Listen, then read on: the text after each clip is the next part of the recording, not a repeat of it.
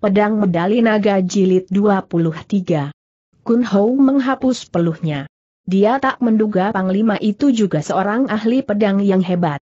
Yang memiliki kecepatan din jurus yang luar biasa, yang hampir saja melubangi lehernya. Dan Kun Hou yang terbelalak memandang lawannya ini tiba-tiba melihat lawan memasukkan pedang dan tertawa. Kun Hou, pedang telah kau cabut. Tak perlu kau masukkan lagi. Kun Hou menggigil. Dia marah bahwa lawan telah memaksanya mengeluarkan senjata, tapi melihat lawan bersungguh-sungguh menantangnya dia pun tertegun dan bingung. Haruskah dia menyerang orang yang tidak bersenjata?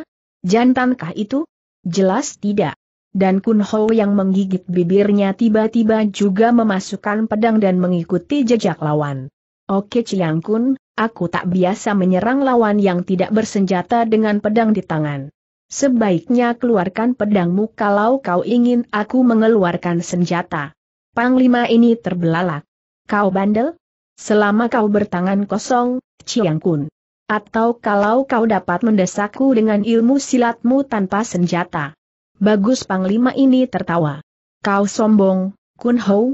Kalau begitu biar ku turuti permintaanmu. Nah, robohlah dan Ochiang Kun yang tiba-tiba menggerakkan tangannya maju ke depan sekonyong-konyong melancarkan pukulan sinar putihnya. Itulah Gin Kong Jiu, pukulan sinar perak, ilmu pukulan yang diwarisi dari mendiang nenek iblis Mo Tai Ho, bakal, hancurnya sebuah kerajaan. Dan Kun Ho yang mendengar angin berdesir dari pukulan bersinar putih ini tiba-tiba menggerakkan tangan pedangnya menangkis. Plak! Kun Ho terkejut. Dia tergetar dan terhuyung, merasa betapa imbian kun, tenaga kapas dingin lagi-lagi mengisi pukulan lawannya itu, merembes dan masuk membobol tangan pedangnya. Dan sementara dia membelalakan matu dengan kaget tiba-tiba lawan kembali menyerang dengan tangan kirinya. Kun Ho, awas! Kun Ho melompat ke belakang. Dia mengelak dengan seruan keras, menggeser kaki dan cepat memutar pinggangnya sambil melontarkan sebuah tendangan. Dan ketika tangan lawan bertemu dengan ayunan kakinya tiba-tiba Kun Ho terpeleset dan mencelat roboh. Des! Kun Ho terkejut. Dia sekalian membanting tubuh bergulingan, mendengar Panglima itu tertawa dan menyerang lagi dengan pukulan beruntun. Dan ketika dia melompat bangun dengan bentakan marah tahu-tahu lawannya itu telah berkelebatan mengelilingi dengan serangan bertubi-tubi, mengejek dan ganti berganti melancarkan pukulan. Dan sementara Kun Ho menangkis dengan kiam ciangnya yang selalu terpental tiba-tiba saja dia telah terdesak dan tak dapat balas menyerang. Haha, bagaimana sekarang, bocah? Kau masih tak mau mengeluarkan senjatamu? Kun Ho menggigit bibir. Dia memang kewalahan oleh serangan lawan yang diisi imbian Kun itu, yang membuat tangan pedangnya seakan lumpuh. Dan ketika dia bertahan dan nekat untuk tidak mengeluarkan pedangnya tiba-tiba dia mendapat pukulan dan tamparan lawan. Kun Ho mulai menjadi bulan-bulanan, terdesak dan kian terdesak saja. Dan ketika bertubi-tubi serangan lawan mendarat di badannya akhirnya Kun Ho mengeluh dan mengakui keunggulan Panglima itu. Oke Chiang Kun, kau memang hebat. Dengan tangan kosong aku tak sanggup bertahan. Oke Chiang Kun tertawa. Dia kagum akan sportivitas lawan, yang tak malu atau segan mengakui kekurangannya.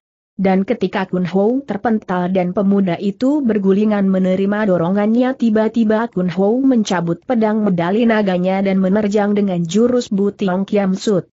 Ok Chiang Kun, hati-hati. Awas aku membalas dan begitu Kun Ho berteriak memutar pedangnya mendadak. Pemuda ini lenyap dalam gulungan lebar yang tiba-tiba menerjang ke depan. Sing sing, L. Oke Chiang Kun terbelalak. Dia melihat Kun Ho membalas dengan hebat, berkelebatan dengan pedang yang naik turun membentuk gelombang. Dan ketika pedang mencuat dan menyambar seperti petir dari balik gulungan cahaya pedang yang naik turun bagai asap bergulung-gulung tiba-tiba saja matu kirinya mendapat tusukan kilat itu. Plak Oke Chiang Kun menangkis, kaget tapi juga kagum akan kecepatan gerak yang dilakukan Kun Ho, Tapi Kun Ho yang mempergunakan jurus beranting dari ilmu pedangnya Bu Tiong Kiam Sut yang tak mengenal habis tahu-tahu membalik begitu terpental, menukik dan meluncur ke pinggang dalam gerak tipu yang dahsyat, sebuah jurus yang disebut mengikuti dorongan memburu bayangan, sebuah gerak tipu yang hebat luar biasa dengan kecepatan tinggi. Dan ketika lawan melompat dan berseru kaget tahu-tahu pedang medali naga telah membelok dan menyambar pinggang Panglima ini kering. Kun Hou terkejut. Dia terbelalak melihat Panglima itu bergulingan, tak terluka karena secara kebetulan pedang di tangannya bertemu dengan pedang Panglima itu, yang tersembunyi di balik pakaian lawan. Jadi secara kebetulan melindungi Panglima itu dari babatan pedang medali naga. Tapi baju Panglima Oke yang robek tak dapat dikatakan sudah membuat Panglima ini kaget dan berseru keras. Apalagi ketika Kun Ho mengejarnya dengan serangan gencar, bertubi-tubi, balas menyerang seperti Panglima itu tadi mendesaknya. Dan begitu Kun Ho memutar pedang tak memberi kesempatan tiba-tiba saja Panglima ini tak dapat melompat bangun dan harus bergulingan ke sana kemari untuk menghindari serangan Kun Ho. Ah, hebat! Luar biasa kau, Kun Ho bukan main dan Panglima Oke yang harus mengelak cepat dengan menggulingkan tubuhnya ke sana kemari tiba-tiba berteriak keras ketika satu tusukan mengenai pundaknya, menusuki dan tak sanggup dia hadapi dengan kekebalannya. Dan ketika satu saat kembali pedang di tangan Kun Ho menyambar lehernya sekonyong konfong Panglima ini membentak dan mencabut pedangnya di pinggang, menangkis dan berseru keras. Dan begitu pedang bertemu sedang tiba-tiba munkratlah lelatu api disusul ledakan nyaring. Terang. Kali ini Kun Ho terdorong. Dia merasa gempuran yang hebat dari tangkisan Panglima itu, merasakan getaran sinkang yaik dahsyat, melihat Panglima itu mi lompat bangun dengan keringat bercucuran. Dan Kun Ho yang tertawa mengejek melihat lawan mencabut pedangnya tiba-tiba menjengek dan merasa satu-satu. Oke Ciang Kun kita berimbang. Kekalahanku tadi telah kutebusi. Panglima itu mendesis. Dia memang kaget dan pucat melihat kehebatan pedang medali naga, yang tak dapat ditahan dengan Hoat Lek Kim Chiong Konya, ilmu kebal yang biasa dia pergunakan dan mampu menerima senjata macam apa pun. Tapi melihat Kun Ho demikian lihai dan pemuda itu mampu mendesaknya hingga kedudukan mereka satu-satu terpaksa Panglima ini mengakui dan tersenyum pahit. Bagus, Kau memang hebat, Kun Ho. Agaknya seluruh kepandaian gurumu telah kau warisi. Kun Ho tertawa mengejek. Dia merasa girang bahwa dengan Bu Tiong Kiam Suknya dia dapat menghadapi Panglima yang lihai ini, bahkan menembus kekebalannya di mana tadi dengan tangan pedang tak mampu dia melukai Panglima ini. Maka melihat lawan telah menghadapinya dengan senjata pula dan Panglima itu dapat dipaksa untuk mencabut senjata seperti tadi Panglima itu memaksanya tiba-tiba Kun Ho tertawa dan pulih kepercayaan dirinya sendiri. Oke Chiang Kun, sekarang kita tentukan siapa yang menang di antara kita. Boleh, dan jangan buru-buru tertawa dulu, Kun Ho. Pertandingan baru berjalan setengah babak. Majulah dan Kun Ho yang kembali melengking dengan putaran pedangnya tiba-tiba melompat dan kembali menyerang. Sekarang dia merasa lebih mantap setelah lawan mengeluarkan senjatanya, jadi kalau dia menang tak akan dikata curang. Dan Kun Ho yang kembali mainkan Bu Tiong Kiam Sutnya menerjang lawan sudah bergerak dengan serangan cepat kini Kun Ho tak ragu-ragu lagi, mengeluarkan semua jurus-jurus yang terlihai dari ilmu pedangnya dan ketika Oke Chiang Kun menangkis dan mereka mulai serang menyerang dalam tusukan dan tikaman cepat tiba-tiba saja dua orang ini telah bergerak dan sama-sama membentak. Baik Kun Ho maupun lawannya mulai mengenal kehebatan masing-masing pihak. Sama-sama maklum bahwa mereka menghadapi lawan tangguh. Dan ketika Kun Ho melihat Panglima itu mainkan pedang dengan gerakan pedang yang membentuk pelangi hijau dan berkali-kali mengeluarkan suara mendenting bertemu pedangnya tiba-tiba harus mengakui bahwa ilmu pedang yang dimiliki lawannya ini cukup hebat. Bahkan mungkin lebih ganas, karena ada unsur-unsur keculasan di balik setiap balasannya. Tapi Kun Ho yang mainkan Bu Tiong Kiam Sut dengan segenap kemampuannya sudah membungkus diri dan rapat memutar pedangnya. Kun Hou tak dapat ditembus, tapi lawan yang juga mulai menutup diri memutar pedangnya membuat pertandingan berjalan seru. Baik Kun Hou maupun Panglima Oke ternyata sama-sama hebat, sama-sama mahir mainkan ilmu pedang. Mereka. Dan karena satu sama lain sama-sama membungkus diri dengan bayangan pedang mereka yang bergulung-gulung akhirnya pertandingan menjadi berimbang. Kun Hou tak dapat mendesak lawan. Tapi lawan yang juga tak mampu mendesaknya benar-benar membuat pertandingan seru bukan main.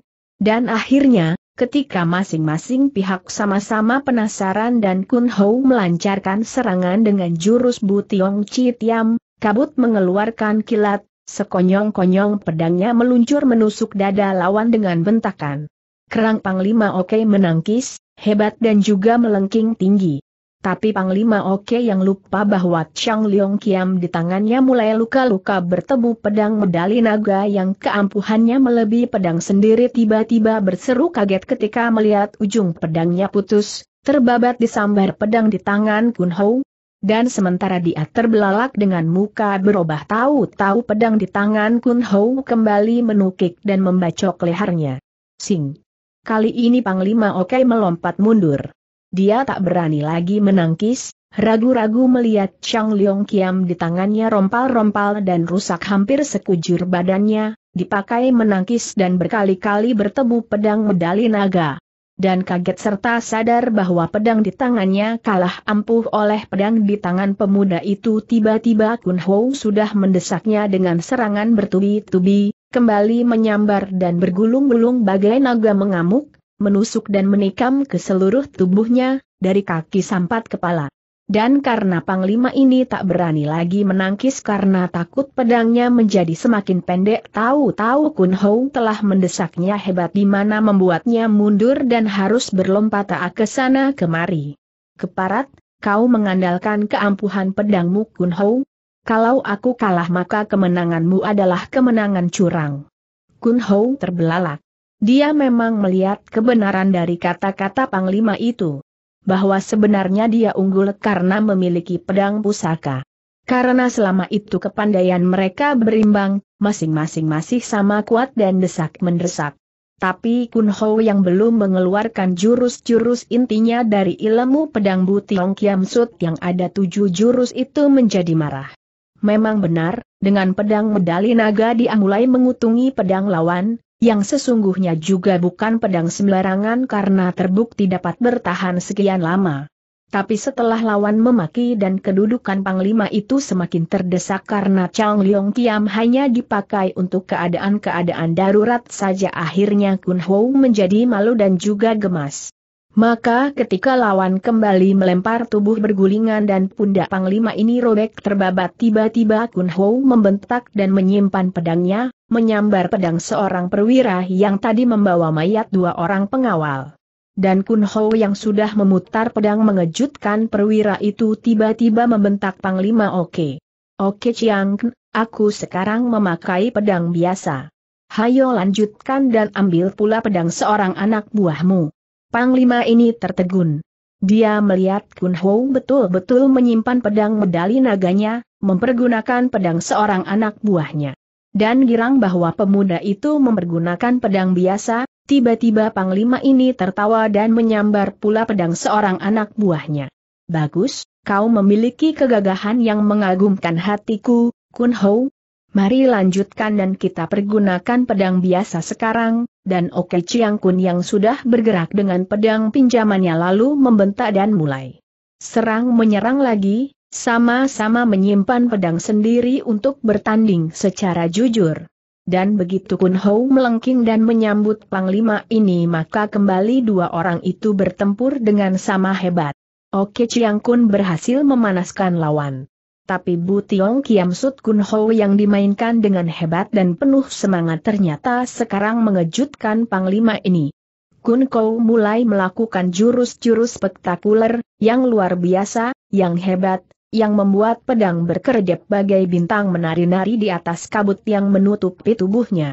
Dan ketika satu saat Kun Ho membentak dan meloncat tinggi dengan pekik menggetarkan ruangan tiba-tiba pemuda ini melancarkan serangan dengan jurus pertama dari tujuh inti ilmu silat pedangnya, yakni Tite Paiseng, menuding bumi menyembah bintang, jurus pembukaan yang dahsyat bukan kepalang.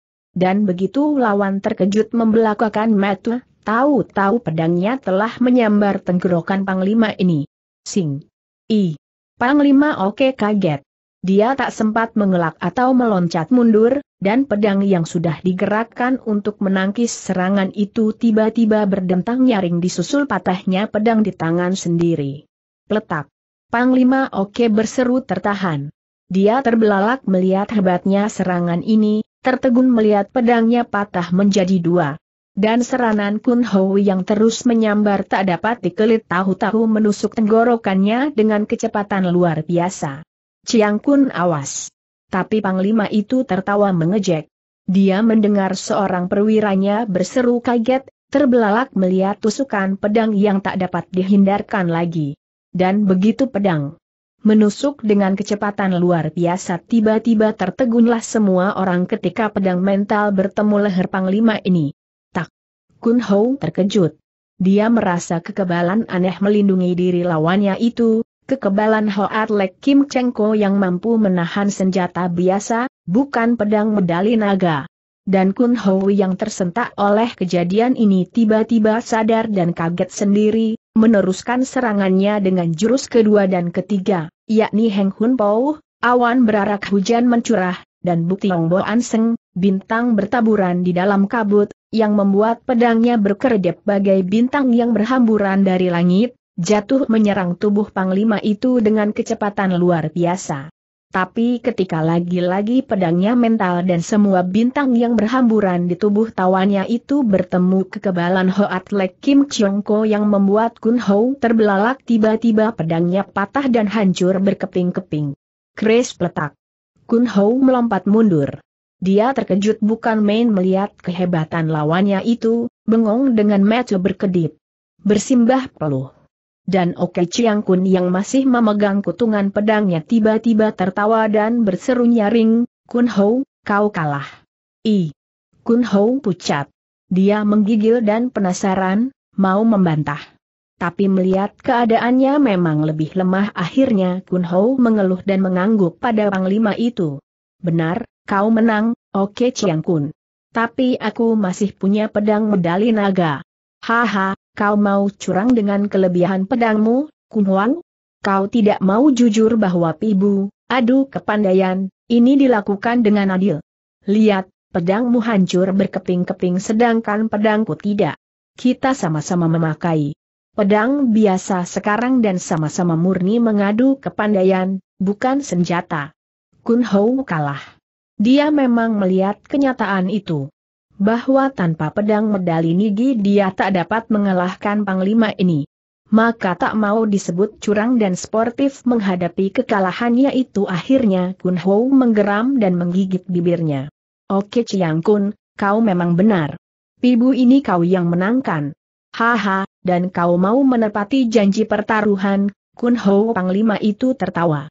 Dan Kun Ho yang tentu saja mengangguk dengan muka gemas lalu menginjak pedang rampasannya yang sudah hancur. Ya, aku bukan manusia sengecut, oke Chiang Kun. Dan kau boleh mengajukan pemintaanmu itu. Bagus, Panglima Oke girang, menuntut kemenangannya. Dan kagum memandang pemuda itu, ia mulai bicara. Satu, ku minta kau mengikutiku selama setahun, Kun Ho, dan karena aku berjanji untuk meminta dua macam permintaan saja padamu, maka yang kedua adalah kau tak boleh memusuhi siapa yang menjadi pembantu-pembantuku. Termasuk mayat hidup yang kau cari-cari itu. Kun Ho terkejut, mengerutkan kening. Kau tentu tak menjilat ludahmu sendiri, bukan? Kun Ho akhirnya mengangguk, menahan kemarahannya. Baik, aku memenuhi permintaanmu, Oke Cian Kun. Tapi setelah itu aku bebas menjalankan keinginanku. Tentu saja. Setelah itu kau bebas kembali, Kun Ho. Tapi kalau ingin mengulang penasaranmu boleh saja setahun lagi kita bertaruh Panglima itu tertawa, mengejek Kun Ho yang marah tapi juga mendengkol.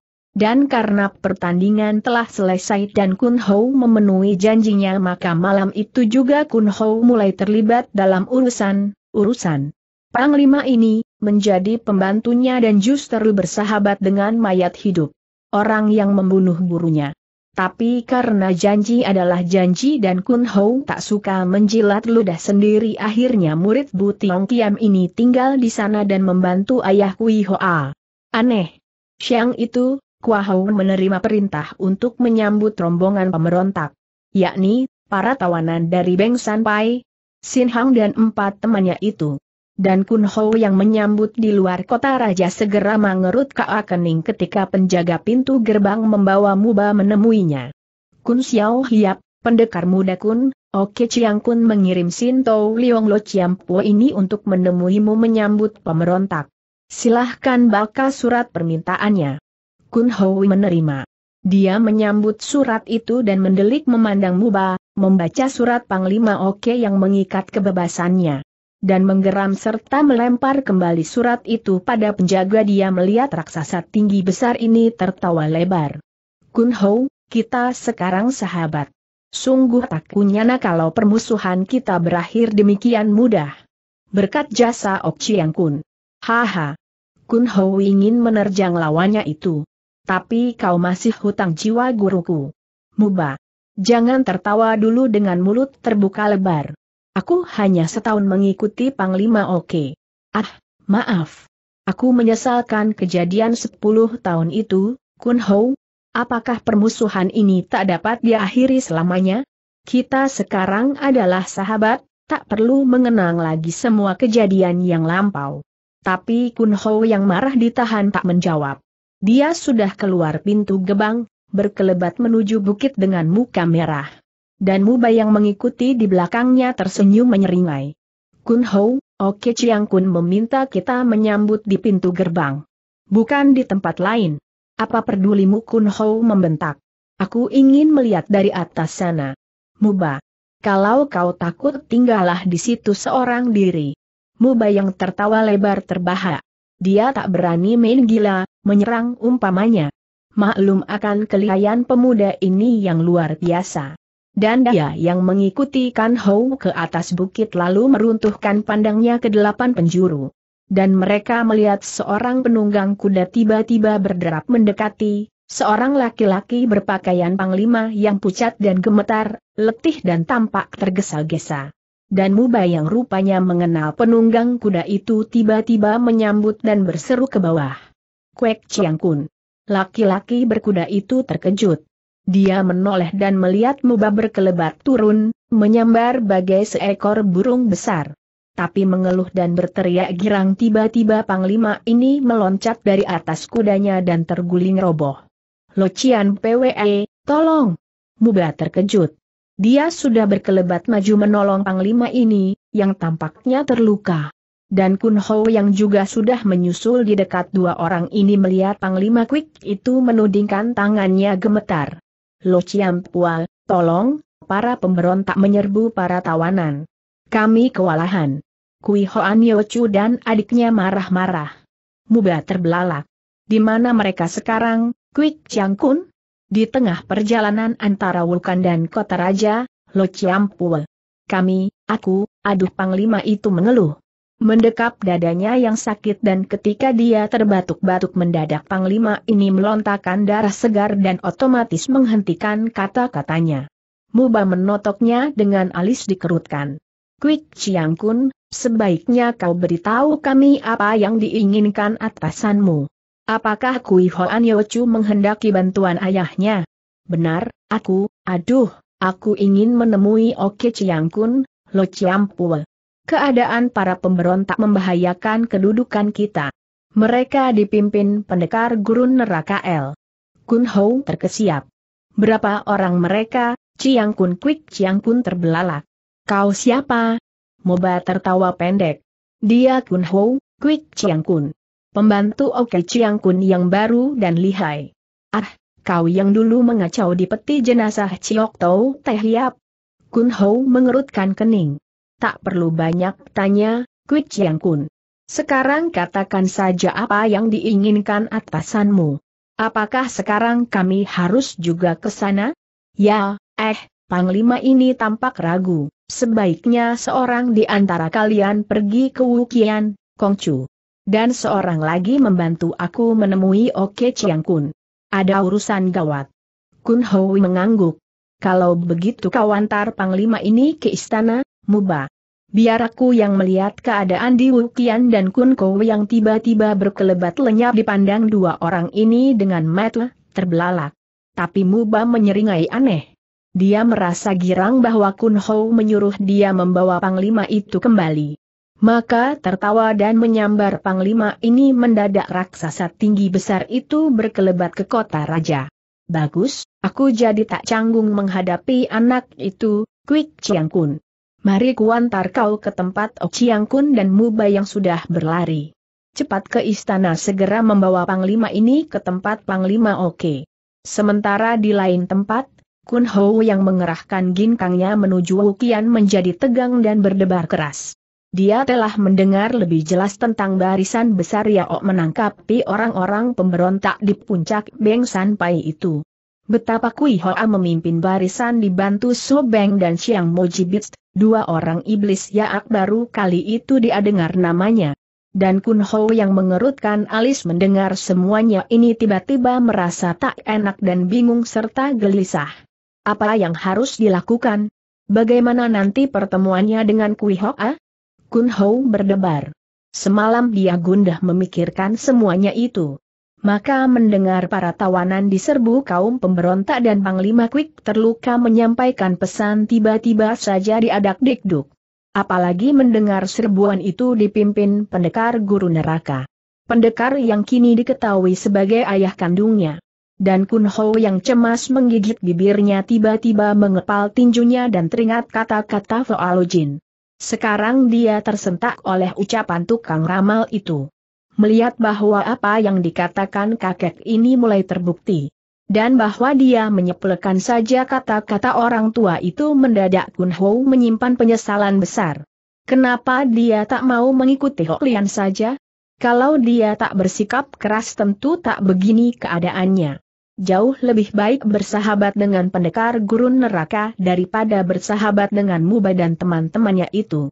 Termasuk Sobeng tapi nasi yang telah menjadi bubur dan tak mungkin ditariknya kembali memaksa dia tunduk pada keadaan. Rupanya nasibnya memang sudah begitu. Harus bermusuhan dengan orang-orang yang berjiwa pendekar dan justru berteman dengan orang-orang jahat. Iblis-iblis bermuka manusia. Seperti Muba itu. Mayat hidup itu. Iblis penagih jiwa itu dan juga, Cheng, Liong atau Hun Kiat, tiga orang yang belum dia temui dan entah bagaimana sikapnya nanti. Dan membayangkan bahwa dia harus bersekutu dengan orang-orang yang telah membunuh gurunya itu tiba-tiba Kun Ho ingin menangis. Kalau tidak malu kepergok orang mungkin Kun Ho ingin menggerung-gerung. Melampiaskan semua perasaan sakit yang melanda hatinya saat itu. Tapi Kun Ho yang menekan diri dan menggigit bibir kuat-kuat akhirnya hanya bercucuran air mata saja sepanjang jalan.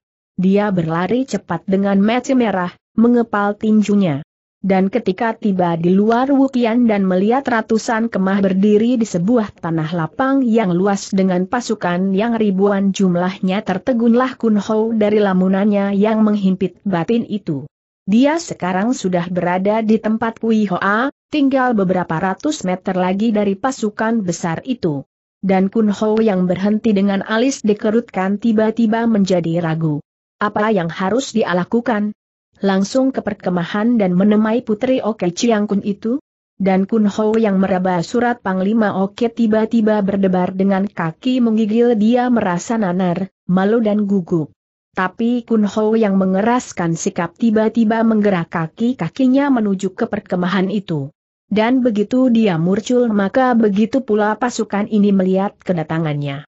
Berhenti, siapa kau? Kun Ho tak banyak cakap. Dia mengeluarkan surat Oke Chiang Kun, menyerahkannya pada seorang komandan berwajah garang. Dan begitu laki-laki ini membacanya mendadak komandan itu menjatuhkan diri berlutut. Maaf, kau rupanya wakil Oke Chiang Kongcu. Mari hamba antar menemui Oke Socia. Kun Hou digiring. Dia diantar laki-laki ini, dikawal seratus lebih pasukan yang membuntuti di belakangnya.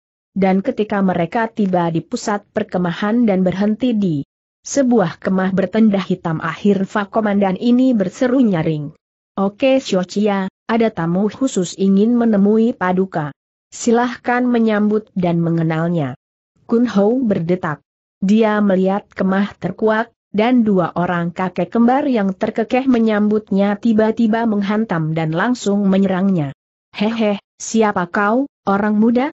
Kami tak kenal dan Kun Ho yang sudah mendapit serangan dari pukulan Sin Kang yang dahsyat tiba-tiba menjadi marah dan terkejut, langsung menangkis dengan melempar kedua tangan ke depan. Dan begitu pukulan beradu tangkisan tiba-tiba saja ketiganya terpental sementara tanah bergetar keras. Duk! Kun Ho berjungkir balik. Dia mematahkan daya pukulan itu, melotot dan berapi matanya memandang kakek ini. Kaget bahwa dua kakek kembar itu memiliki es inkang yang kuat. Tapi belum dia membentak atau siap menyerang tiba-tiba bentakan merdu menghentikan ketegangan. Siang Moji Bin, tahan dan dua bayangan yang berkelebat keluar membentak kakek Iiu tiba-tiba membuat Kun Hou tertegun ketika melihat Kui Hoa muncul bersama adiknya, marah melihat keributan di depan kemah. Tapi melihat Kun Hou ada di situ mendadak Kui Hoa mengeluh dan berseru tertahan. Hou Ko. Dua orang muda itu berpandangan sekejap. Kui Hoa tersentak melihat kehadiran pemuda ini, tak menyangka sama sekali, girang dan tiba-tiba merah mukanya, bersemu dadu. Tapi Kun Ho yang justru melengos dan membungkuk kaku sudah mengeluarkan surat Oke Chiang Kun. Oke Xiao aku diutus ayahmu untuk menjemput tawanan. Bacalah. Kui Hoa terbelalak. Dia melihat sikap Kun Ho yang dingin, terpukul. Dan menerima surat dari tangan pemuda itu Kui Hoa sudah membukanya dengan jari menggigil. Lalu, melihat surat itu benar-benar dari ayahnya dan Kun Ho dinyatakan sebagai sahabat, tiba-tiba saja Kui Hoi mengeluh dan menggigit bibirnya. Entah girang atau apa. Dan Kun Ho yang menindas semua guncangan batinnya tiba-tiba melihat Kui Hoa mempersilakan masuk dan menghapus dua titik air mata yang menetes di pipinya. Saudara Kun Ho, silahkan masuk Kun Ho ganti tertegun. Dia melihat Kui Hoa merubah sebutannya, tidak lagi Hong Kong melainkan saudara. Tapi mengangguk dengan sikap dingin dia lalu mengikuti gadis ini memasuki kemah, diiringi siang Moji Bin yang baru kali itu dilihatnya dan tampak berbisik-bisik, duduk dan kini berhadapan di meja besar. Dan begitu semuanya beradu muka maka Kui Hui bertanya dengan sikap kaku, Saudara Kun Ho, apa yang diinginkan ayah dariku? Kun Honwa menarik napas menjemput para tawanan, oke Xiaoxia. Kami telah bertemu Quick Chiang Kun yang terluka di luar kota raja. Kami? Ya maksudku aku berteman. Tapi temanku itu kusuruh mengantar Quick Chiang Kun menemui ayahmu. Kui Hoa tertegun. Siapa temanmu itu, saudara Kun Ho? Sinto Liong Muba, Kun Ho agak berat mengatakannya. Tapi Kuilin yang sejak tadi tak mengeluarkan suara tiba-tiba bertanya. Saudara Kun Ho, bagaimana kau dapat membantu ayah? Kapan kalian bertemu? Hektometer, Kun Ho merah mukanya. Aku membantu ayahmu karena terpaksa, Nona. Kami bertemu semalam dan mengadakan taruhan. Aku kalah dan karena itu aku mengikuti ayahmu. Pertaruhan apa? Perlukah diketahui lebih jelas Kun Ho tak senang? Sebaiknya katakan saya apa yang harus kulakukan, Nona. Tak perlu bertanya urusan-urusan pribadi orang lain. Kui Lin terpukul. Dia tersinggung, tapi Kui Hoa yang mengangkat tangannya memberi isyarat, Lin Boy, memang apa yang dikata saudara Kun Ho betul. Sebaiknya tak perlu kita tanya itu dan memberi tugas padanya. Bagaimana kalau ikut mengawal para tawanan? Terserah, Kun Ho tak acuh. Aku hanya mengikuti perintah ayah kalian, Nona.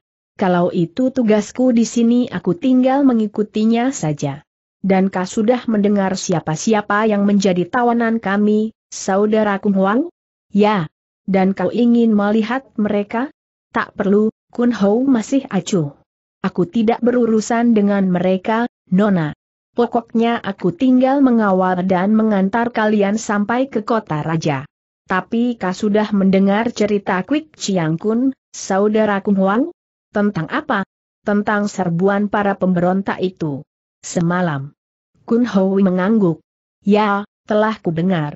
Ada apa, Nona? Kui Hoa memandang tajam. Pendekar gurun neraka yang memimpin orang-orang itu, saudara Kun Hou, kau dapat menghadapinya kalau dia datang kembali? Kun Hou mengerutkan kening. Aku akan menghadapi siapa saja demi tugasku. Tapi, Kun Hou memandang Siang Moji Bin. Apakah mereka ini tak dapat menghadapi pendekar guru neraka? Dan di mana Sobeng yang membantu kalian? Bukankah iblis penagih jiwa itu bersama kalian menangkap pemberontak? Hektometer Siang Moji Bin tiba-tiba membuka mulut, melotot. Pendekar gurun neraka bukan hanya datang seorang diri, bocah. Dia dibantu dua istrinya dan orang-orang lain. Apakah yang lain-lain ini tak perlu dihiraukan?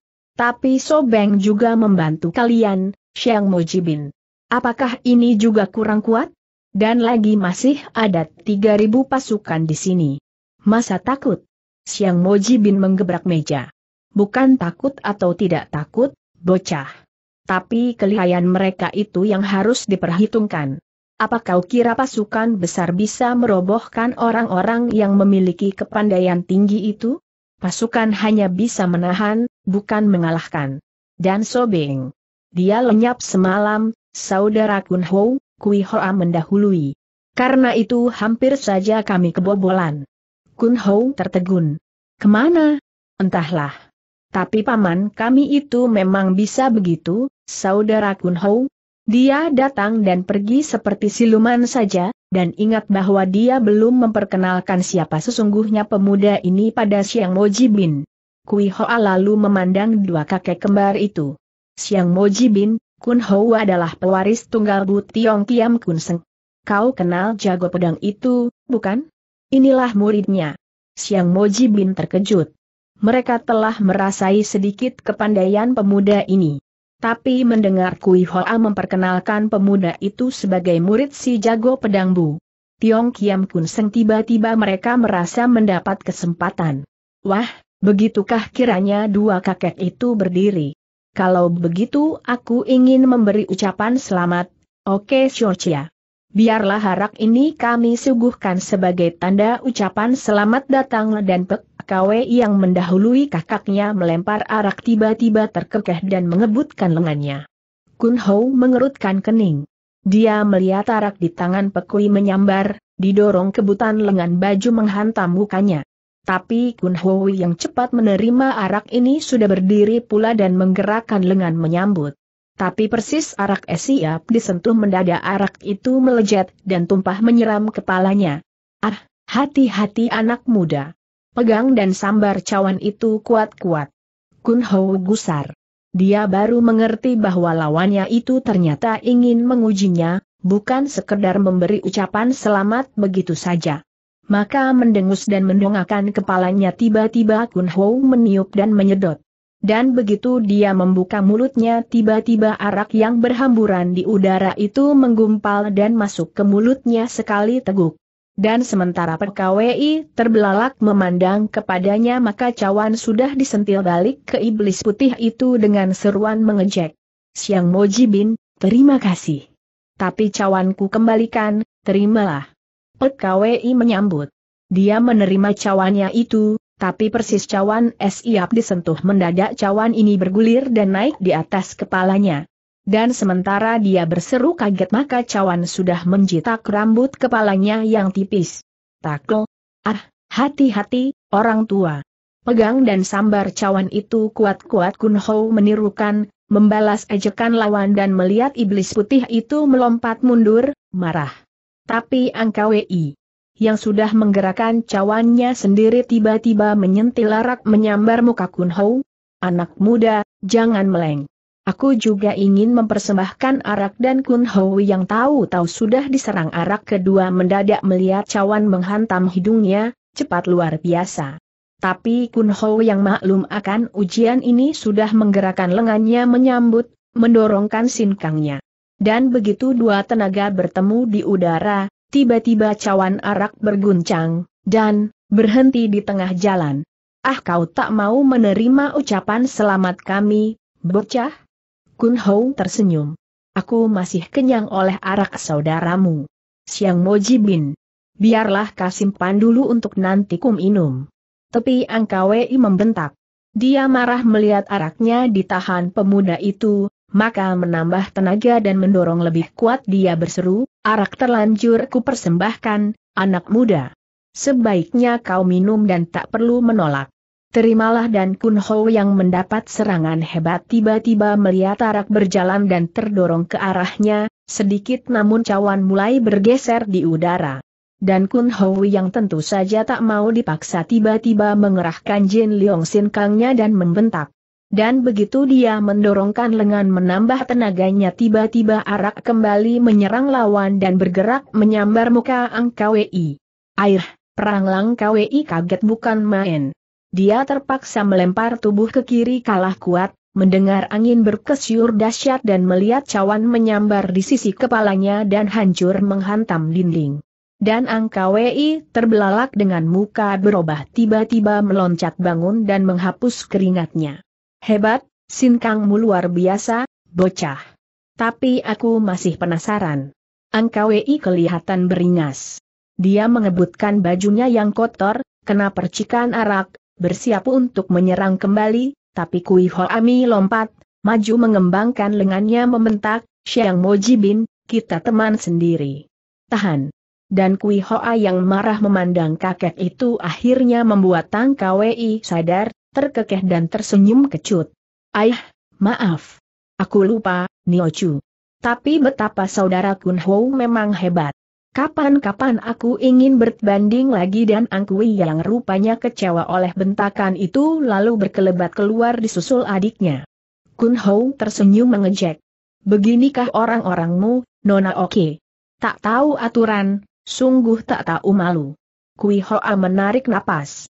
Siang Moji Bin memang orang-orang susat, saudara Kun Hou maafkanlah, dan gugup memandang Kun Hou gadis ini lalu berkata pada adiknya, Lin Boy, Tolong antar tamu kita ke tempat peristirahatannya. Biar dia mengasuh dulu. Kuilin mengangguk. Dia membawa Kun Ho keluar, memberikan sebuah kemah tak jauh dari kemah induk. Dan mempersilahkan Kun Ho beristirahat dia berkata, sebaiknya hari ini kau kumpulkan tenaga baik-baik, Ho Ko. Mungkin besok kita berangkat setelah pasukan segar kembali, dan, berbisik dengan kening dikerukan Kuilin memandang pemuda itu, Enci Hoa bukan orang yang membunuh burumu, TW aku. Tak sepentasnya kau bersikap dingin padanya dan Kuilin yang sudah melompat keluar kemah membuat Kun Ho tertegun dan menjublak memandang gadis itu, mengawasi punggungnya. Tapi setelah Kuilin lenyap dan pelayan muncul membawakan minumannya akhirnya Kun Ho menahan napas Dea duduk termangu. Siang itu tak ada sesuatu yang istimewa. Pasukan besar masih tetap berjaga-jaga, bergantian setelah semalam mereka dibuat kalut oleh serangan para pemberontak, yang hampir saja membebaskan tawanan. Dan Kun Ho yang juga enak-enak di kemahnya sendiri tidak mendapat gangguan. Tapi, ketika senja mulai datang dan malam merayap menghampiri mereka tiba-tiba pasukan itu tampak gelisah. Kun Ho mendengar aba-aba diberikan setiap komandan, menyuruh anak buah mereka berjaga-jaga dengan kesiapsiagaan penuh. Dan ketika malam semakin larut dan sebagian pasukan ada yang tidur, tiba-tiba kekacauan mulai datang. Sebuah kemah terbakar, tak diketahui dari mana api berasal. Dan sementara orang sibuk memadamkan api ini tiba-tiba kemah yang lain juga terbakar. Tak tanggung-tanggung hampir 20 buah. Dan Kun Ho yang tertegun di luar kemahnya mendadak mendengar teriakan di belakangnya. Tawanan lolos, tawanan lolos. Kun Ho terkejut. Dia melihat banyak orang berlari-lari ke sebelah barat, melihat lima bayangan berlompatan di antara api yang berkobar, dikejar dan menangkis hujan senjata para prajurit. Dan ketika dia bengong melihat semuanya itu tiba-tiba Kuilin muncul. Keparat, kau bantu kami, Hou tuaku. Para pemberontak menyerang dengan care gerilial. Kon Hou menahan napas. Dia melihat bayangan Siang Mojibin juga keluar dari kemarnya, memeatak bentak. Dan Kui Hoa yang muncul melihat keributan itu tiba-tiba berteriak memberi aba-aba. Maciang Bu, jangan semuanya mencari tawanan. Sebagian memadamkan api dan gadis yang tampak terkejut dengan muka merah itu berkelebat di sampingnya. Saudara Kun Ho, tolong tangkap orang-orang itu. Tawanan lolos. Kun Ho mengangguk. Dia sudah melompat ke tempat yang gaduh itu, melihat bayangan seorang gadis mengamuk di tengah-tengah ratusan prajurit, tampak gagah dan hebat bukan main, menerjang dan melempar-lemparkan lawan bagai orang melempar-lemparkan boneka dan sementara dia menerobos menuju tengah-tengah keributan maka di sebelah kanannya juga tampak seorang Hwasyo membabatkan tongkat mengamuk di antara 200 prajurit yang mengepungnya. Itulah Bui Hosiang. Kun Hou tertegun. Dia melihat ketua butong itu menggerakkan tongkat dengan ganas sekali, tak kalah ganas dan hebat dengan gadis di sebelah kiri.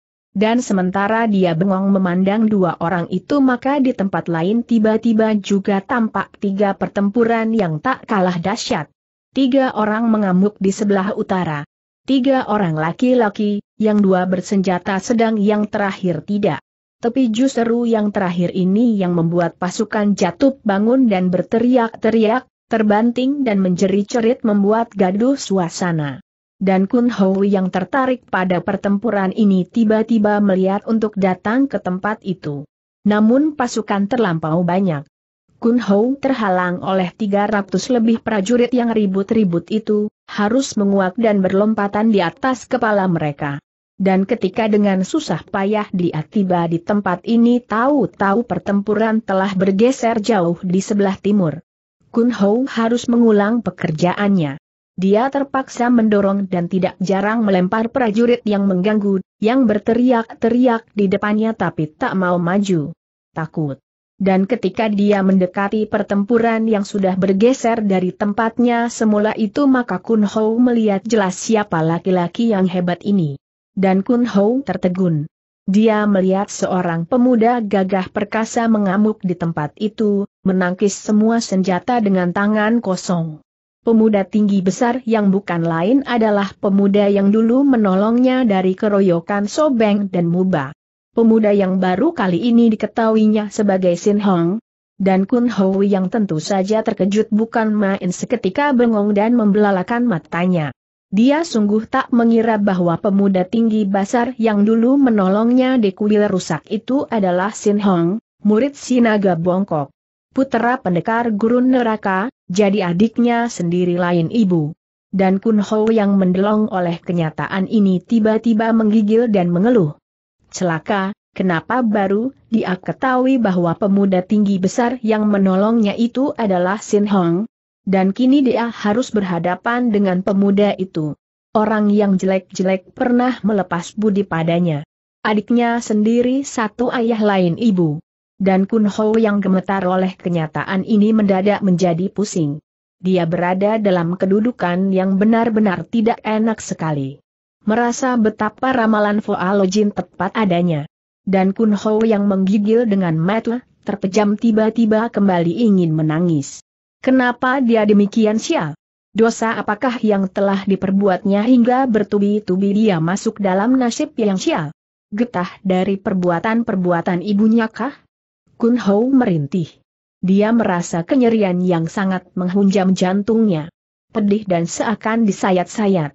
Tapi mendengar suara orang berteriak dan lima prajurit terbanting roboh tiba-tiba Kun Hou membuka mata dan menjadi beringas. Dia melihat Sin Hang membentak di tengah-tengah kepungan, melempar dan mendorong puluhan orang yang menghujaninya dengan senjata. Pukulan Sin Kangnya membuat lawan gentar dan menjerit-jerit dan ketika lagi-lagi tujuh orang terbanting dengan tulang patah-patah mendadak Kun Hou menyambar ke depan melewati kepala banyak orang. Sin Hong, akulah lawanmu. Kepungan menjadi buyar. Para prajurit menyibak dan otomatis melompat mundur mengenal Kun Ho yang siang tadi menghadap Kui Ho Aniochu, yang kini dikenal sebagai utusan Oke Chiang Kun. Pemuda yang diam-diam dikatakan sangat lihai karena pewaris tunggal diri si jago pedang Butiong Kiam Kun Sing. Dan semua prajurit yang bersorak dan melompat memberi ruangan lalu melihat dua orang semuda itu sudah saling berhadapan dan siap berlaga bagai dua ekor singa yang akan bertarung. Pemuda tinggi besar ini terkejut. Dia memang Sin Hang adanya, seorang di antara lima tawanan yang menyerahkan diri, yang kini lolos dan membobol kepungan dengan kepandaiannya yang hebat. Dan melihat Kun Ho membentak dan melayang turun menghadapinya tiba-tiba Sin Hang mundur dan tersentak kaget. Cheng Liong ke, kakak Cheng Liong. Kun Ho mendesis. Dia sekarang tahu bahwa adiknya satu ayah ini telah tahu hubungan mereka. Bahwa mereka bersaudara. Tapi mendengar Sin Hang menyebutnya Cheng Liong tiba-tiba Kun Ho menggeram dan membentak, aku Kun Ho, Sin Hang. Bukan Cheng Liong. Tapi ayah telah melihat bekas luka di lengan kirimu itu, Liong Ko. Kau adalah putra ayah yang selama ini dicari-cari. Tidak, aku tak kenal itu semuanya, Sin Hong. Aku adalah Kun Ho dan murid sekaligus anak angkat Bu Tiong Kiam Kun Seng, ayah sekaligus guruku. Sin Hang membelalak. Liongko. Tanda petik. Tapi Kun Ho mendamperat gusar, aku tak sudi mempergunakan nama itu, Sin Hong. Kau masih tuli tak mendengar kata-kataku lalu, tak mau banyak cakap karena percakapan hanya akan membuatnya sakit belaka tiba-tiba Kun Ho menerjang ke depan. Sin Hong, menyerahlah. Sin Hong mendesis.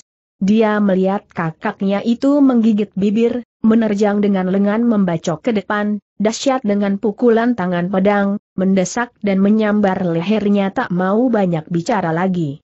Dan Sin Hang yang terbelalak oleh serangan ini tiba-tiba mengerahkan Sin Kang sambil berteriak, Liong Ke, eh, Hou Ko, jangan membantu musuh, Duk dan keduanya yang tiba-tiba terpental membuat Sin Hang terkejut bukan main dan berjungkir balik mematahkan benturan dahsyat itu, kaget bahwa Kun Ho bersungguh-sungguh menyerangnya. Dan ketika melompat bangun dan melihat Kun Ho menggerung dan kembali menyerang mendadak Sin Hang menggigit bibir dan menjadi marah. Ho Ko, kau tersesat. Kau tertipu. Namun Kun Ho menutup telinga. Dia sudah menerjang dan mengerahkan kiam ciangnya, bertubi-tubi membacok dan menusuk dengan kedua lengan menyambar-nyambar, silih berganti hingga membuat Sin Hang terdesak, kewalahan dan bingung menghadapi kakaknya ini. Tapi ketika tekanan kian berat dan para prajurit yang menonton bersorak-sorak tiba-tiba Sin Hang membentak marah dan mulai balas menyerang. Dia tidak hanya sekedar menangkis, mulai melancarkan pula pukulan-pukulan dahsyat untuk menahan lawannya ini. Dan begitu Sin Hang Mi lengking dan mainkan Sin Leong Hoatnya, silat naga sakti, tiba-tiba dua orang muda itu terlibat pertarungan sengit yar, membuat para penonton mundur. Sekarang asyiklah semua orang menonton pertandingan ini. Mereka melihat dua pemuda itu sama-sama cepat, masing-masing bergerak dengan sama lincah dan pukul memukul dengan sama hebat dan ketika masing-masing mulai mengeluarkan tenaga saktinya dan dua pukulan sedang berbenturan di udara tiba-tiba saja bumi bergetar dan beberapa penonton yang terlalu dekat jaraknya mencelat terlempar. Mundur, mundur, beri mereka ruang yang luas seorang komandan berteriak-teriak, menyuruh anak buahnya mundur agar tak keserempet angin pukulan dahsyat itu. Dan ketika semua orang terbelalak dan tak bersorak-sorak lagi maka Sin Hang dan Kun Hou telah lenyap berputar-putar, mempercepat gerakan mereka dan terpaksa mengerahkan Gin Kang, ilmu meringankan tubuh. Dan begitu keduanya saling mencentik dan mengadu kepandaian tiba-tiba saja kegaduhan di tempat ini terhenti karena semua orang celangat menonton. Dan memang hebat pertandingan itu. Kun Ho penasaran bahwa tangan pedangnya belum merobohkan lawan, melihat lawan mainkan ilmu silat pertahanan yang kokoh di samping balas menyerang pula, meliuk-liuk bagai naga menari, menerkam dan mematuk bagai seekor naga sakti yang sedang marah. Dan ketika berkali-kali keduanya terpental oleh pukulan yang beradu Kun Ho lalu mengerahkan Jing Leong Sin Kangnya yang didapat dari Bu Beng Sian Su. Sin Hong, kau akan kurobohkan. Sin Hong terkejut. Dia merasa Kun Ho merubah gerakan, mendoror dan mengibas dengan lengan yang tidak lagi mendesing-desing melainku meniup bagai angin gunung, lembut namun kuat bukan main, menghantam dan tiba-tiba menderu setelah dekat jaraknya. Dan Sin Hang yang tentu saja mengerutkan kening melihat perubahan ini segera tahu apa yang dilakukan Kun Ho. Tahu bahwa lawan mempergunakan Jing Leong Sin Kang, Sin Kang menghimpun seribu naga itu. Dan marah melihat Kun Ho mendesaknya dengan ilmu yang dahsyat itu terpaksa Sin Hang memekik dan mempergunakan Jing Leong Sin Kangnya pula. Ho Ko, kau terlalu. Plakdes tanda seru dan Sin Hang yang sudah menangkis serangan kakaknya itu tiba-tiba sama. Mencelat dan terlempar tergulingan, mengeluh dan membuat semua orang terbelalak melihat benturan dahsyat itu, merasa tanah bergetar hebat dan beberapa di antaranya terjungkal roboh. Tapi keduanya yang sudah kembali melenting dan serang menyerang dengan marah akhirnya membuat penonton terpaku dan melongo bagai orang bingung. Mereka melihat keduanya itu mempergunakan ilmu yang sama.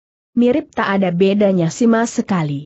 Dan ketika benturan-benturan dahsyat kembali membuat tanah berguncang dan aigin panas mulai menderu tiba-tiba saja para penonton panik dan melompat menjauh. Mereka merasa terbakar, muka mereka panas. Dan ketika dua pemuda itu melengking dan memperhebat serangan tiba-tiba saja tak seorang pun di antara penonton yang berani mendekati, mereka menyingkir, pucat melihat pertandingan dahsyat itu. Dan ketika Sin Hang dan Kun Ho sama-sama membentak dan melompat ke depan tiba-tiba kembali benturan keras tak dapat dielakkan. Blang. Kun Ho dan Sin Hang terpental di udara. Mereka sama-sama mengeluh, mencelat dan berjungkir balik dengan napas sesak. Dan ketika keduanya melayang turun maka tampaklah keduanya melelehkan darah di sudut mulut mereka. Ah, kita sama-sama terluka, Hou Ko. Namun Kun Hou tak peduli. Dia mengguncang dan mengusap bibirnya itu, mendesis dan ingat bahwa mereka sama-sama memiliki warisan Bu Beng Siansu. Dan membentak tak memperdulikan diri lagi tiba-tiba Kun Hou menerjang lawannya itu. Sin Hong, kau menyerahlah kalau ingin pertandingan berhenti tanda seru. Namun Sin Hong terang menolak. Dia tak mau mengikuti perintah ini, maka melihat lawan menyerang dan menubruknya dengan pukulan dahsyat tiba-tiba Sin Hong menggigit bibir dan berkelit menghindari. Lalu, melompat jauh dan berteriak penuh kecewa tiba-tiba Sin Hong menghajar pasukan di sebelah kiri, yang sejak tadi menonton dan terkejut melihat serangan ini. Dan begitu mereka menjerit dan roboh tunggang langgang segera Sin Hong melewati mereka dan berputar-putar mencari jalan keluar. Houko, kau tersesat. Kau membantu iblis-iblis berbahaya. Kun Ho meradang. Dia marah melihat Sin Hang melarikan diri, berputar-putar dan menyeruak di antara kepungan yang tebal. Dan ketika pemuda itu melompat-lompat dan bingung menghadapi lawan tiba-tiba di sebelah timur terdengar pekik dan jerit kesakitan. Sekelompok orang menyerbu, rombongan kaum pendekar dan Kun Ho yang terbelalak menghentikan langkahnya mendadak melihat So Beng dan teman-temannya muncul. Kun Ho, kejar lawanmu itu. Pendekar gurun neraka datang. Kun Ho tersentak. Dia berdesir melihat tiga bayangan melindungi Sin Hong, bayangan dari seorang laki-laki gagah diserta dua perempuan cantik, wanita-wanita setengah baya yang mengamuk menerobos jalan darah, hebat dan ngegirisi sekali dan Kun Ho yang tertegun melihat semuanya itu tiba-tiba dihantam sebuah tangan kuat yang menepuk pundaknya. Bocah, jangan mendorong saja. Hayo bantu kami kalau kau benar-benar tunduk pada Oke Chiang Kun. Kun Ho terkejut. Dia melihat Tang KWI membentaknya, melotot dan menepuk pundaknya melampiaskan kemendungkolan dan Kun Ho yang gusar oleh perbuatan kakek ini tiba-tiba melayang dan balas menampar kakek itu. Angka Wei, kau tua bangka keparat. Angka Wei terbelalak. Dia marah melihat Kun Ho menyerang, maka terkekeh dan menggerakkan lengannya dia pun langsung menangkis lengan Kun Ho mempergunakan angsi kengnya, tenaga pasir merah. Duk Angka WI terpental. Dia terdorong dan kaget oleh Sin Kang lawan. Tapi memekik dan mau membalas tiba-tiba Kui Hoa muncul. Angka WI, jangan bertengkar sendiri. Kejar mereka yang lolos. Angka WI mendelik. Dia kecewa, tapi mendengus meninggalkan Kun Ho terpaksa dia menerima perintah ini dan Kun Ho yang juga melompat meninggalkan Kui Hoa lalu mengejar Sin Hang yang masih harus berlompatan mencari jalan keluar, melihat kepungan semakin tebal dan menyulitkan gerakannya. Dan karena rombongan pendekar menyerbu mengacau barisan maka Kun Ho kebingungan mendekati tempat itu. Tak dapat mengikuti karena mereka berpindah-pindah dan ketika dia membentak agar pasukan minggir tiba-tiba Kun Ho tersesat di pertempuran lain antara Bilan dan para pengepungnya. Tikus-tikus busuk, kalian tak dapat menangkap aku. Kun Ho tertegun. Dia melihat Bilan menggerakkan kaki tangannya, menghajar pasukan hingga berteriak-teriak. Tapi ketika dia hendak melompat maju dan menghadapi gadis ini tiba-tiba Quilin muncul dengan bentakannya yang nyaring. Siluman betina, kau tak dapat lolos dan Kuilin yang membabatkan pedangnya ke leher lawan tiba-tiba dikelit Bilan yang meloncat tinggi. Lalu menukik turun dan menggerakkan tangannya tahu Tawilan telah menampar pedang di tangan lawannya itu. Plak! Kuilin terhuyung. Ia membentak dan menerjang lagi, dan Pekui yang muncul di tempat itu membantu Kuilin tiba-tiba membuat Bilan terkejut, mencabut pedang dan berteriak membabat lawan dan begitu pertempuran menjadi kalut sekonyong-konyong ibunya muncul membantu Bilan. Bilan, lari ke barat. Pergunakan taktik tikus melompat-lompat. Bilan girang. Dia berseru keras melihat kedatangan ibunya itu, bantuan yang membuat dia gembira dan memekik mementalkan pedang kuilin tiba-tiba Bilan membentak dan, berjungkir balik melarikan diri, menuju ke barat seperti teriakan ibunya itu, melompat-lompat di antara kepala pasukan yang dijadikan jembatan. Dan ketika dia melakukan salto belasan kali di udara tiba-tiba saja gadis ini telah jauh meninggalkan lawan. Kejar!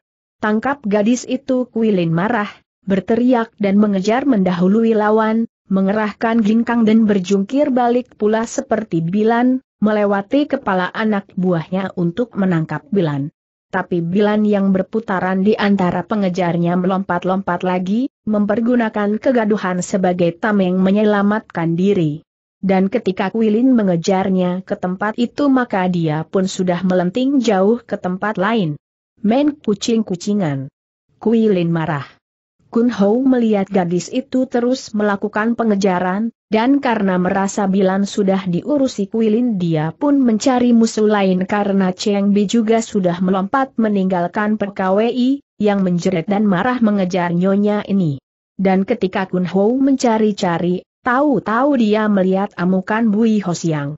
Keledai gundul, kau mampuslah. Kun Ho terbelalak. Dia melihat sepuluh orang perwira mengeroyok ketua Butong Pai yang tampaknya dianggap lawan yang paling ringan.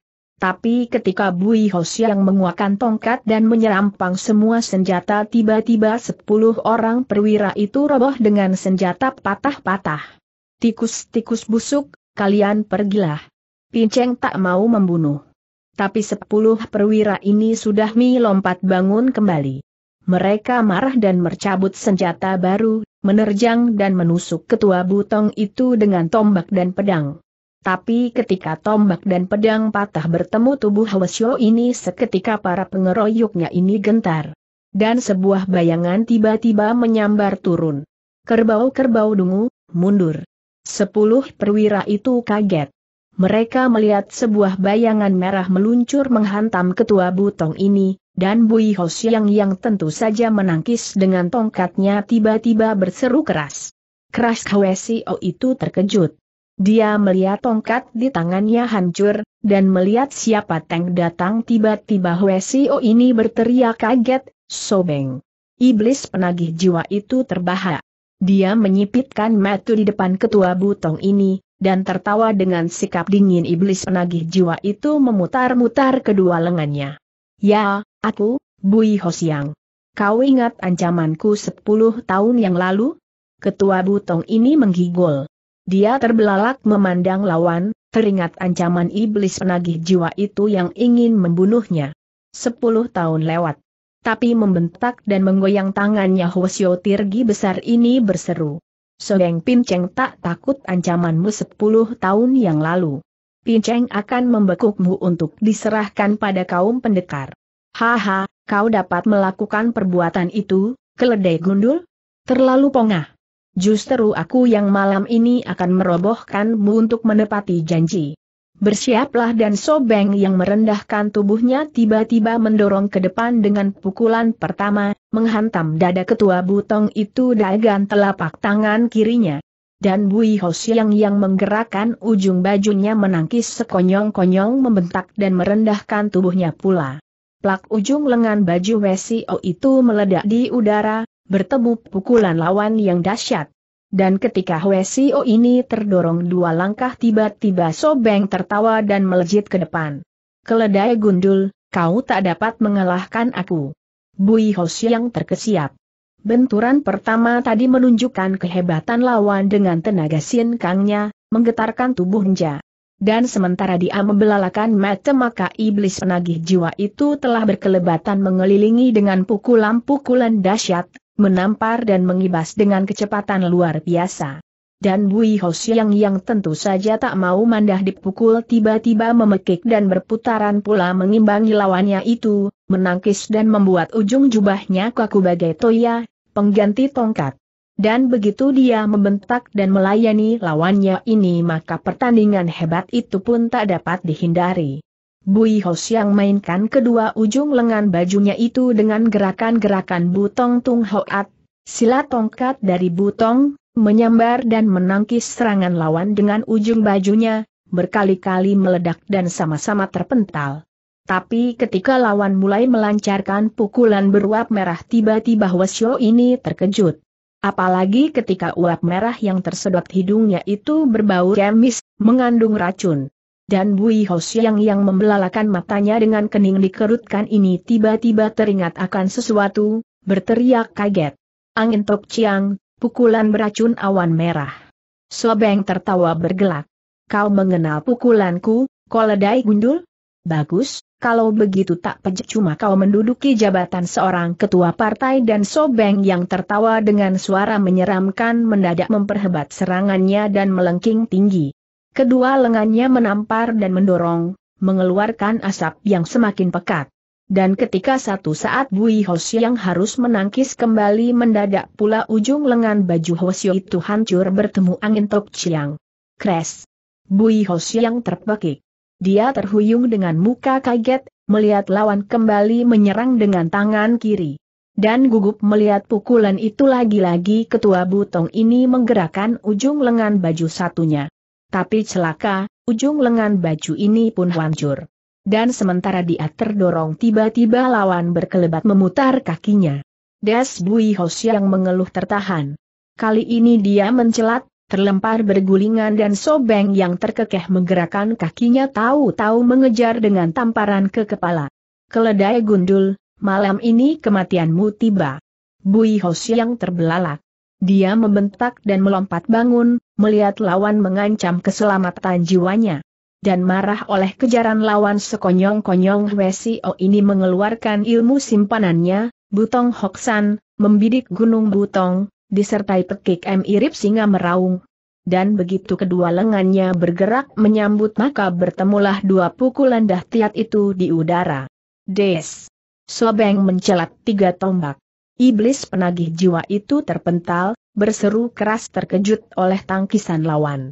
Dan, ketika Bui Hos yang berkelebat ke depan ganti mengejarnya tahu-tahu sebuah pukulan mengenai pinggang kirinya. Plak Sobeng tak sempat mengelak. Dia terlempar dan kembali bergulingan, dan ketika lawan mengejar dan kembali menghantamnya maka dua kali berturut-turut iblis penagih jiwa ini terpelanting dan berteriak kaget, mengeluh oleh pukulan butong Hoksan yang benar-benar dahsyat itu, antep dan membuat napasnya ampek, sesak. Tapi Sobeng yang dapat meloncat bangun dan terhuyung memandang lawan membuat Bui Hos yang tertegun, kaget bahwa lawan rupanya memiliki kekebalan yang hebat. karena pukulannya tadi dapat memukul roboh sebuah batu sebesar bukit. Dan heran serta terkesiap oleh kehebatan lawannya ini tiba-tiba Subang membalas dan menepuk kedua tangannya. Bui Hosiang, aku juga belum mengeluarkan semua kepandaianku. Sekarang lihatlah. Haid, El dan iblis penagih jiwa yang berkelebat dengan tangan didorong ke depan itu tiba-tiba memekik dengan bentakan mengguntur, menghantam leher Bui Hosiang dengan pukulan aneh, mencuit bagai desis seekor naga, seluruh lengannya merah marong dan mengeluarkan hawa yang luar biasa panas. Dan Kun Ho yang melihat pukulan itu tiba-tiba berseru kaget, tanpa sadar. Tok Hwe Eji, hawa api beracun. Bui Hosiang juga mencelos. Dia mendengar nama pukulan mujizat itu dari beberapa orang yang pernah mengenalnya, belum bertemu langsung dan tak pernah berhadapan sendiri. Tapi melihat betapa pukulan itu menyambar lehernya dan hawa panas mendahului menerjang dia pun terkejut juga dan berusaha mengelak. Tapi hawa panas itu memburunya, mengejar bagai lidah seekor naga.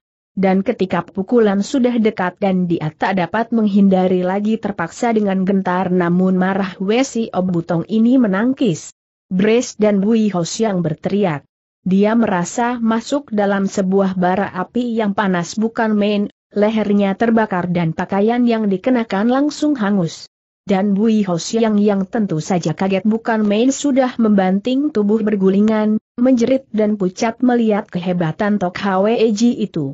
Dan ketika dia melompat bangun dan menggigil memandang lawannya itu, tiba-tiba ketua butong ini muntah darah dan terhuyung. Haha, kau tak dapat menyelamatkan diri, keledai gundul.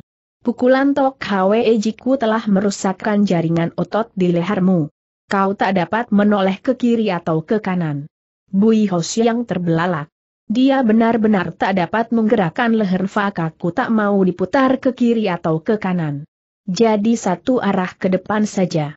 Persis celeng, babi hutan. Dan Bui Hosiang yang mengeluh dengan mati merah langsung memaki, kau keji, sobeng. Kau benar-benar iblis dan meraung bagai singa lapar ketua butong ini sudah menerjang maju dengan penuh kemarahan. Dia membabi buta menyerang lawan, menunjukkan semua pukulannya Fa ke depan. Tapi ketika lawan mengelak ke kiri atau kanan dan belakang tiba-tiba saja ketua butong ini kehilangan lawannya. Dia tak dapat memutar leher, dan ketika kembali Sobeng menghantamnya dari belakang maka Hosyo ini pun mengaduh dan terpental roboh. Dia nekat, bangun dan kembali menyerang, tapi begitu lawan berkelit dan melancarkan pukulan dari samping maka Hwesio ini pun menjerit dan roboh terjengkang, muntahkan darah. Dan ketika Sobeng terbahak dan mencabut cakar bajanya tahu-tahu dada Hwasyo tinggi besar itu telah disambar hancur dan terkuak oleh senjata maut itu. Kraklo! Bui Hosyo yang terguling roboh. Dia tewas seketika, jantung dan paru-parunya sobek. Dan Kun Ho yang menonton dari jauh hampir saja membentak dan menerjang iblis penagih. Jiwa itu, tak tahan melihat kekejamannya tapi seorang Tosu yang berkelebat mendahuluinya sudah melakukan bentakan dengan pedang menusuk mata. Sobeng, kau iblis keji. Iblis penagih jiwa itu terbelalak. Dia melihat Tian Kong Cincin muncul, menyerang matanya dengan kecepatan kilat. Tapi mendengus dan melempar kepala ke belakang tahu-tahu pedang lewat di es isinya dan membalik menikam dadanya. Tak. Tian Kong Cincin terkejut. Dia sudah dapat menusuk lawannya itu, tapi pedang yang mental bertemu dada lawan ternyata tak sanggup melukai dan kini menyerang dirinya sendiri, membalik bertemu kekebalan Sobeng yang aneh. Dan Tian Kong Jin yang tentu saja terkejut dan berteriak ke belakang sudah berjungkir balik dengan muka pucat. Hoat Lek Kim Chiongko. Sobang terbahak. Kau tahu ilmu kekebalanku, Tian Kong Jin. Bagus, Tak sia-sia kau mati di tanganku pula dan Sobeng yang berkelebat menggerakkan lengannya tahu-tahu mendorong dengan pukulan Tok Hweji itu, menyerang Tian Kong Jin yang bergulingan. Tapi ketua Kong Tong yang melihat kedahsyatan ilmu ini mengelak, Mi loncat jauh dan melakukan salto dua kali. Lalu membentak dan melayang turun dia pun sudah menggerakkan pedangnya menusuk ubun-ubun lawan. Plak des. Tian Kong Chin Jin tertangkis. Dia terpental, memekik dan marah dengan mati melotot. Tapi ketua Kong Tong yang gagah perkasa ini sudah melengking dan memutar pedangnya kembali. Dengan hebat dan cepat dia melakukan tusukan dan tikaman, gencar mainkan ilmu silatnya Kong Tong Kiam Sut, silat pedang Kong Tong. Dan begitu pedang berkelebatan. Menyambar-nyambar maka Kun Ho melihat dua orang itu bertanding mengadu kepandaian. Sobeng menunjukkan kekebalannya yang luar biasa itu, Toat Lek Kim Chiong Ke, ilmu kebal yang berbau ilmu hitam. Tangguh dan berkali-kali mementalkan pedang di tangan Tian Kong Chin Jin. Dan ketika Sobeng membalas dengan pukulan Toh Jinya yang ganas itu akhirnya Tian Kong Chin Jin kewalahan dan harus berlompatan ke sana kemari. Terdesak, mulai pucat tapi tidak menunjukkan rasa takut sedikit pun juga gagah mengagumkan. Dan ketika Tosu ini mulai keteter dan Tok Hweji mendesaknya dengan ganas tiba-tiba empat orang muncul membantu Tosu ini. Empat orang pendekar yang tak dikenal Kun Ho, empat laki-laki gagah yang mempergunakan golok dan pedang. Dan begitu Tian Kong Chin Jin dibantu tiba-tiba saja ketua Kong Tong ini dapat melepaskan diri dan menyeka keringatnya. Sui Tai Hiap, empat pendekar terhormat. Terima kasih, tapi hati-hati menghadapi iblis penagih jiwa ini. Jangan bentrok langsung dengan pukulan Tok Hweji-nya. Sobeng tertawa bergelak. Dia tak keder oleh bantuan baru itu, menyambut dan menerima tusukan pedang dan golok, kembali mendemonstrasikan Toat Lek Kim Chiong Konya yayak hebat itu. Dan ketika empat senjata mental bertemu tubuhnya tiba-tiba lengan kirinya mengibas dengan pukulan Tok Hweji. Tian Kang Chin Jin, kau benar-benar jantan. Empat orang sahabatmu ini solidar sekali. Tian Kong Chin Jin berteriak. Dia memperingatkan temannya agar tak menangkis, tapi seorang di antaranya yang memegang golok memekik terlambat, disambar senjatanya dan terpaksa menangkis.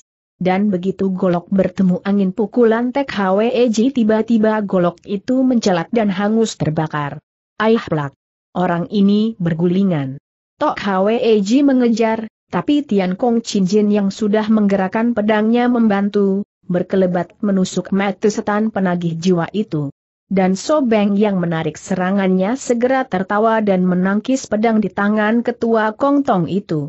Daa begitu pedang terpental segera tiga orang lain maju menyerang membantu Tian Kong Chin Jin yang harus mengelak dan membanting tubuhnya. Begitulah. Sobeng lalu dikeroyok, dan iblis penagih jiwa yang dikerubut lima orang ini lalu mendapat serangan gencar yang tiada habis-habisnya, menusuk dan menekan dengan gerakan cepat dan kuat. Tapi melihat iblis penagih jiwa ini benar-benar kebal dan tak dapat dilukai kecuali bagian matanya akhirnya Tian Kong Chin Jin memberi aba-aba. Cui Ing Hyong, pendekar sekalian, serang saja kedua matanya. Jangan di lain tempat. Sobeng marah. Sekarang dia mendapat tusukan atau tikaman di kedua matanya itu, bertubi-tubi dan gencar sekali. Dia geram bahwa ketua Kongtong ini yang memberi aba-aba mendadak sobeng menggereng dan berkelebatan ke sana-sini. Dia mengelak semua serangan itu, lalu ketika sebuah golok dan pedang kembali menyambar tahu-tahu dia mencengkeram dan membetot dua senjata itu. Krek-krek. Dua pemilik senjata berteriak keras. Mereka melihat golok dan pedang di tangan patah diremas iblis penagih jiwa itu, dan Sobeng yang langsung menyambit kutungan golok dan pedang ini ke dada pemiliknya tiba-tiba disambut pekik ngeri ketika dua orang pendekar itu roboh terpelanting, tembus dadanya oleh patahan golok yang menancap dalam. Dan sementara Tian Kong Chin Jin dan dua temannya yang lain berseru kaget maka iblis penagih jiwa ini telah memutar kaki menendang mereka. Des des plak.